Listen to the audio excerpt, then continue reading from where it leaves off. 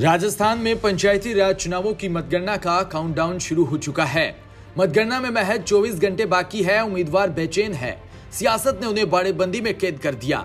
कहीं time pass करने के लिए गीत गाए जा रहे हैं तो कहीं भजनों का दौर चल रहा है। चुनावों को लेकर मरुद्रा में सियासी पर्यटन पूरे परवान पर है। धर्मस्थलों से लेकर पिकनिक स्पॉट्स तक सियासी पर्यटन से सरोबार है। मरुद्रा की सियासी फिजा में बीजेपी और कांग्रेस दोनों ही जीत के गीत गुनगुना रहे हैं। बीजेपी कांग्रेस के राजनीतिक सुरमा चुनाव में एक दूसरे को पटखनी देने का दावा भी कर रहे हैं। पिछले तीन दिनों से घर बार छोड़ खाटू श्याम जी में बाड़ीबंदी में बंद, सांबर और रेनवाल पंचायत समिति की महिला कांग्रेस उम्मीदवार प्रभु श्याम से लेकर बालाजी महाराज के हरजिस गा रही है।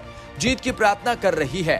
कांग्रेस नेता विद्याधर सिंह इसे प्रशिक्षण करार दे रहे हैं और इसे बाड़ेबंदी का दोष बीजेपी पर मन रहे हैं।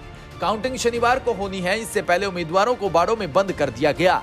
भरतपुर, स्वाईमाधोपुर, दौसा, जयपुर, जोधपुर और सिरोही तक यही माहौल है। उम्मीदवारों से मोबाइल की आज़ादी भी छीन ली गई और रिजोर्ट से लेकर होटलों तक में पहरे बिठा दिए गए हैं।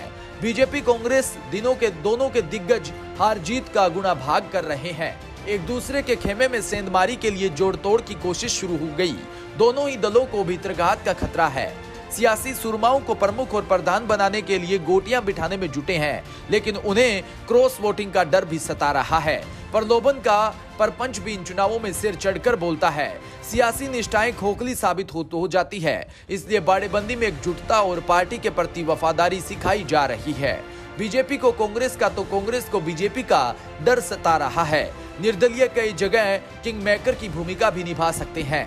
जिताऊ निर्दलियों पर डोरे डाले जा रहे हैं, बहरहाल जो जीतेगा वो जिला प्रमुख और प्रधान के चुनाव होने तक बाड़े में ही रहेंगे।